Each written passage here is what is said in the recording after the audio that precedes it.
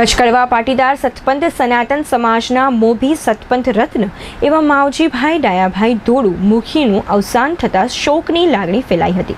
તેઓ પાટીદાર સમાજના દાનવીર દાતા સમાજને એકતામાં મહત્વનો ફાળો આપ્યો હતો. સદગત પાટીદાર સમાજના શિક્ષણ, આરોગ્ય, ધાર્મિક અને સામાજિક ક્ષેત્રે સતપંથ સનાતન સમાજમાં સી ફાળો રહ્યો હતો. મૂળ કચ્છના અને વર્ષોથી પોતાની કર્મભૂમિ હરિપુરા, ડાકોરને બનાવી ધંધાકીય ક્ષેત્રે ખેતીને મહત્વ આપી કચ્છમાંથી પચાસથી વધુ પરિવારોને સાથે લઈ ગુજરાતમાં પણ કચ્છનો ડંકો વગાડ્યો હતો.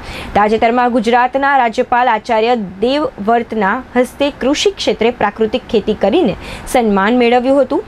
સમગ્ર કચ્છ કડવા પાટીદાર સમાજનું નામ રોશન કરનાર સ્વ માવજીભાઈ ધોળુની વિચારધારા ક્રાંતિકારી હતી. તેઓએ વિવિધ કચ્છ કડવા પાટીદાર, સતપંથ, સનાતન સમાજ સાથે રહીને કચ્છની સાથે હરિપુરા, શિવનગર અને આ વિસ્તારમાં અનેક નિષ્કલંકી જ્યોતિ મંદિર અને ઉમિયા માતાજીના મંદિરો બનાવી મોટું યોગદાન આપ્યું છે.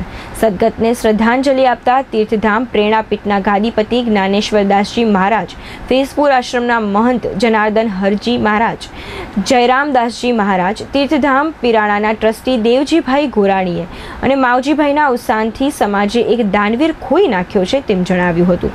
આજની અંતિમ યાત્રા અખિલ કચ્છ કડવા પાટીદાર સમાજના કેન્દ્રીય પ્રમુખ અબજીભાઈ ધોળુ, કચ્છ એકમના પ્રમુખ દાનાભાઈ ગોરાણી અર્જનભાઈ ભગત મુરજીભાઈ ગોરાણી પ્રવીણભાઈ જાદવાણી સહિતના અગ્રણીઓ જોડાયા હતા.